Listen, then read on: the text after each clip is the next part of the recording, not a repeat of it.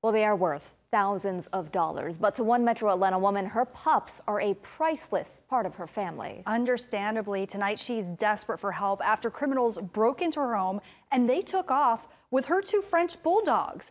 Atlanta News First Brittany Ford is live at 5 from the South Fulton Police Department, uh, the, the Butner Road subdivision. Brittany, the owner, I mean, I just can't imagine how devastated they must be. Well, Joy, yeah, pets are like family, and tonight there is brand new video and a reward being offered to help this woman get her pups back home. It's a feeling no pet owner ever wants to experience. Both of them are my babies. I love them like they're my children, and one of them, he needs medical attention. He needs prescriptions. He needs stuff for his heart. Surveillance video shows two thieves breaking into a South Fulton woman's backyard in the Butner Road area in early August around 2 a.m.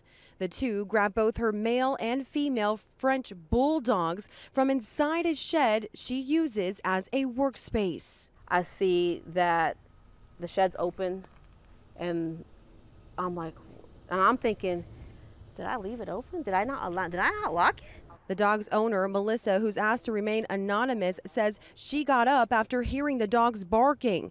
And then she says the unthinkable happened. I go to pull out the gun, and as I'm pulling out the gun and I'm looking, he's coming back over the fence. That corner right there, He's, he's pulled himself all the way up. The thieves got away with two MacBook laptops, an iPhone, Gucci travel bag, all worth over $10,000, and her most prized possession of them all. And they're out here just taking, obviously they don't care. They have no, you know, no goals in life for to be out here stealing people's property and stealing people's, like, that, that's like stealing somebody's child a two year old girl and a one year old boy she's desperately trying to get back home. I can replace those things, but I can't replace my dogs that were stolen.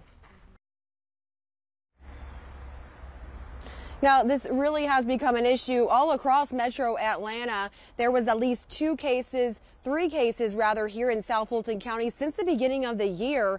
Anyone with any information in this case is being offered a $2,000 reward. Reporting live in South Fulton, Brittany Ford, Atlanta News First. Mm, wow, I hope someone can help. All right,